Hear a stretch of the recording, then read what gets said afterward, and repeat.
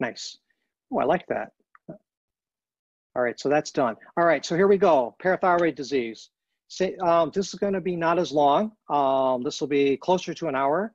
Um, but um, the thing about parathyroid for um, uh, question and answer, literally, there are some very predictable moments in this talk, and I will identify those for you for uh, multiple choice questions. Okay. Uh, some of the other things I'll do are obviously very important prep, and this will be available to you as we talk um, for your reference for prep, preparing for oral boards. So what I address as well will be things that prepare you for oral boards. But for the purposes of a multiple choice, it'll be very obvious what you need to make sure you are tied on. Um, so let's go to the diagnosis. We know that this is a chemical serologic diagnosis with uh, chronic excessive secretion of parathyroid hormone from one or more parathyroid glands uh, caused by most commonly a solitary adenoma, uh, um, and then 15% by a diffuse four gland hyperplasia or carcinoma rarely. Let me just uh, say very quickly for carcinoma, this has the very distinct feature of markedly high PTHs in the thousands, high hundreds, uh, uh, aggressive disease because they're not within a anatomic contained area and therefore uh, high local recurrence. Uh, and unfortunately, while the, the recurrence uh, is very uh, aggressive and rapid in some cases because of their uncontained growth and their adjuvant therapy doesn't seem to take care of it, the reason actually why they die is not because of the recurrent disease, they die of malignant hypercalcemia. So in other words, uh, the carcinoma uh, related to hyperparathyroidism or hyperparathyroidism related to carcinoma is exactly that clinical feature.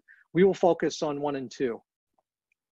Uh, what do you see chemically or uh, serologically? Hypercalcemia and an elevated parathormone level in, in almost every case, or uh, incompletely suppressed parathyroid hormone level indicating that it is coming from the parathyroid.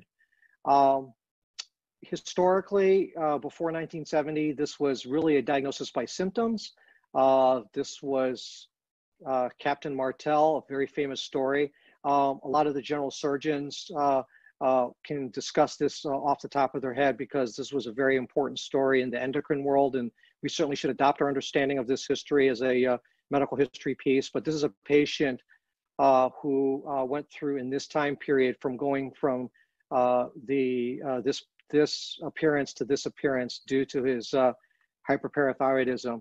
Uh, the short version is is that uh, they explored his neck multiple times and couldn't find it. He did his own homework in, in multiple libraries and said, "Hey, go look in my chest." They looked in his chest and they found the adenoma. He later died from laryngospasm uh, uh, when he lost his airway due to his uh, chronic tetany from the hypocalcemia during a procedure to remove a kidney stone.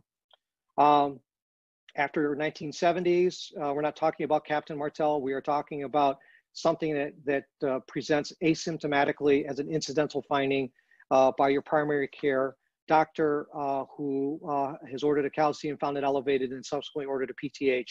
And it's at such an early stage of their disease that the patients are asymptomatic. And that is now the uh, centerpiece of our understanding about how to work these patients up is the asymptomatic hyperparathyroid patient different causes of hypercalcemia. This is very important, even as a surgeon. You don't want to be finding yourselves that that you completely trusted the workup to say that you are now have an indication for surgery. You really need to understand that uh, certain things will cause uh, false positives, at least with uh, hypercalcemia, or throw you off in terms of hypercalcemia with elevated uh, parathormone levels.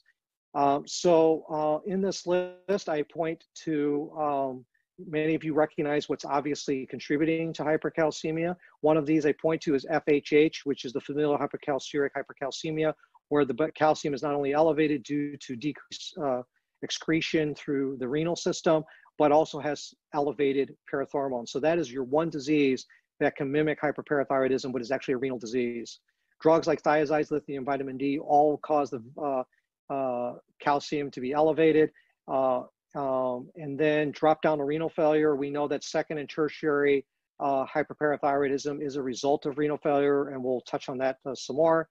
And then uh, true hyperparathyroidism as a cause for hypercalcemia is just a small uh, part of the overall etiology of hypercalcemia. So it's very important that you are in this ballpark of true hyperparathyroidism before you actually operate on these patients. Um, establishing the diagnosis starts with the calcium, so repeat studies just to confirm that all both of these are elevated. Other tests that you need to have always uh, available to you because this is your way of avoiding a mistake as a surgeon, right? And this is fundamental is not only the calcium levels and parathormone levels, but making sure they don't have renal failure through the creatinine level, uh, vitamin D level. Uh, we'll talk about that. And finally, 24 hour urine calcium to indicate that you don't have FHH or familial hypocalciuric hypercalcemia. Calcium levels, uh, repeated measurements, normal total serum calcium is this range here, depending on your institution or your laboratory. Affected by albumin levels, so we know that low albumin, you need to correct for a low albumin by using this formula. You are all familiar with this. You do all understand that calcium carries the, uh, I'm sorry, albumin can carry the calcium, so you have less albumin than you're carrying less calcium, and it can look like an overall lower number, uh, which in fact your actual active calcium that is not binding to cal- uh, albumin may actually be okay, but you just need to figure out whether it is or not through this calculation. Ionized serum calcium, 4.8 to 5.7, not affected by uh, albumin. So this is a more expensive test with a tighter range in numbers that you can use to confirm the hypercalcemia um, and uh, uh, add that to this if you want in terms of your overall assessment. Parathor parathyroid hormone, so this is the second of the five tests. Here's your normal le level in picograms, uh, elevated in primary hyperparathyroidism. Normal levels with hypercalcemia suggests hyperparathyroidism. So again, normal levels of parathormone suggest hyperparathyroidism because in all other cases of, of uh, hypercalcemia, the PTH is suppressed, right? So corollary, if the PTH is not suppressed beyond normal, in other words, if it's not suppressed all the way down to below normal, despite the hypercalcemia, then it's probably another cause. And that other cause is non-parathyroid uh, causes of hypercalcemia. So recognize that subtlety. Creatinine levels are important. Chronic renal failure can lead to secondary and tertiary hyperparathyroidism. Why? Because vitamin D, which controls calcium levels uh, normally, is converted at three levels skin, liver, kidney. Its final conversion is in the kidney. So if you have uh, uh, um, diseased kidney, of renal failure, you will reach a point where the uh, kidney does not make the final conversion of vitamin D. Uh, um, and that final conversion leads to a lack of active vitamin D. And with that lack of vitamin, active vitamin D leads to a drop in the calcium, which then increases the activity of the parathormone to drive the calcium back up. And then you subsequently develop independent parathyroid activity, referred to as tertiary hyperparathyroidism. I will repeat myself on that one. Uh, inactive vitamin D leading to the low calcium, leading to the stimulation of parathyroid activity, and then eventually it becomes autonomous. We can look at this slide. Uh, in primary hyperparathyroidism, on your slide, you can circle this. PTH is driving everything. That's because you have an abnormal solitary adenoma, or you can have all four, but it's primarily coming from an abnormal parathyroid that is then increasing the amount of parathormone in the system, and then secondarily, the calcium goes up. That's your classic primary hyperparathyroidism. Secondary uh, hyperparathyroidism is the early stages of renal failure, excuse me, where this is your lack of vitamin D conversion. So things start over here. So you can circle this. Make this your first step because vitamin D is not being converted, therefore your calcium's low, which is then stimulating your parathyroid to increase in um, production. Okay, so this is secondary hyperparathyroidism. And then tertiary hyperparathyroidism is secondary hyperparathyroidism that has continued so long that eventually it becomes autonomous, where now it's over here. This is the driving force. The parathormone is driving things.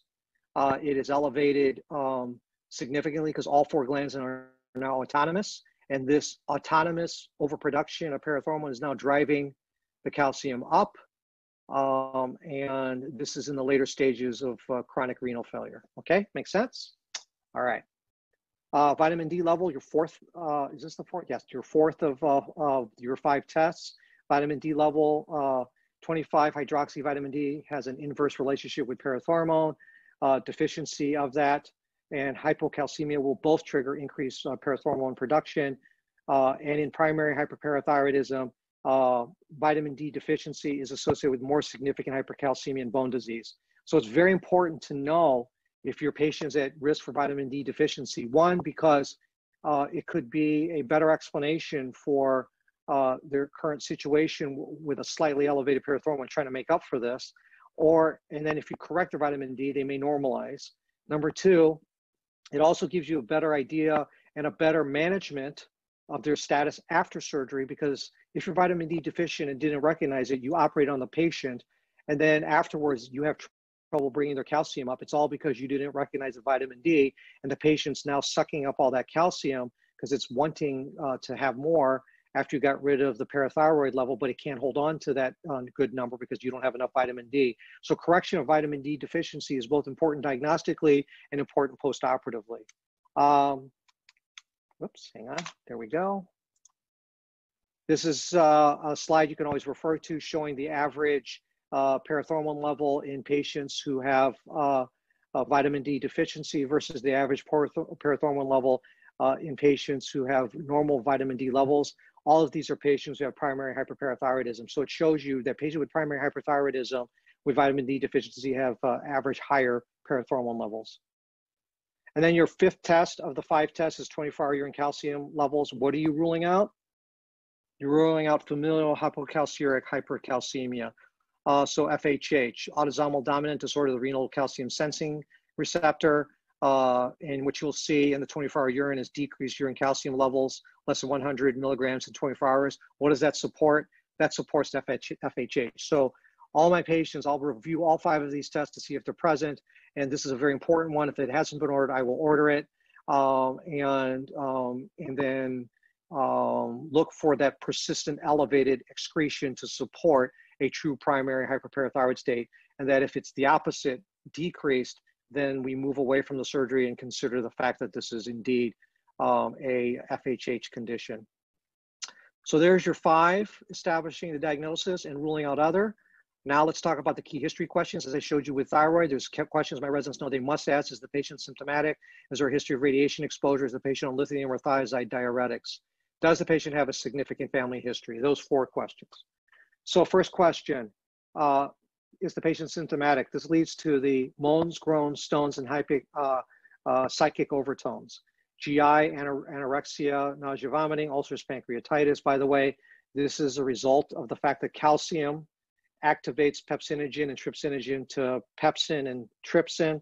Therefore, if you have an increased activation of the enzyme, you'll have an increase in pancreatitis. Just a little fact there for you uh, musculoskeletal disease where there's uh, nonspecific pain of the muscles uh, in the area of the long bone. Uh, stones, very uh, helpful. This is one of the criteria that supports our decision to operate. Anybody has a stone that has primary hyperparathyroidism, even though they're asymptomatic, in other words, they have a, a incidental stone in their renal uh, pelvis, then they should get surgery for their hyperparathyroidism. Um, neuropsych um, there's a lot of stories around and i've seen it over and over and over again where the patient undergoes the parathyroidectomy and the significant other uh, who sees sees them in the post-op period will actually turn to me and says, "Thank you for giving me my husband back." I go, "Well, how did I do that?" And he goes, "Well, he's a lot less cranky and he's doing a lot better on Jeopardy." Um, it's one of my favorite stories. I repeat over and over again, and various variations to that story very real. These patients have a very subtle, they're off sort of story, and once you normalize them, they actually have a return of their overall neurologic and uh, neuropsych status. Um, the symptoms of the moan, stones, groans, and psychic overtones remind you uh, of the symptoms that one can have. Second question, radiation exposure, just like thyroid, that's a very important question. Exposure radiation uh, and of the three types, risk for primary hyperparathyroidism as much as 40 years later, Thyroid cancer risk with radiation exposure should be considered in patients with concomitant primary hyperparathyroidism and a thyroid nodule. This is an interesting comment that repeats itself. Uh, I have to tell you, I've never seen this yet. Doesn't mean I have that robust of a practice to fall into the type of numbers that eventually this can show. Uh, but it's certainly a nice little clinical vignette, at least for you to know practically. I don't know how much you need to know that uh, specifically for the purposes of the boards. Um, medication, what medications, this is a good question. What are the following medications uh, will uh, uh, predispose a patient to uh, uh, hyperparathyroidism uh, or hypercalcemia? lithium will do this by elevating parathormone levels